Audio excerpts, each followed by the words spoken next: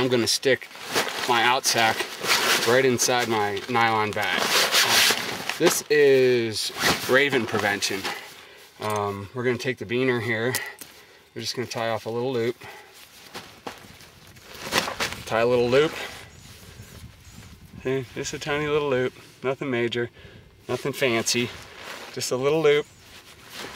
So now I got my bag. I didn't show you the biner earlier, get it on there, so I want to show you now. Um, we got a little biner, just a little loop tied on there.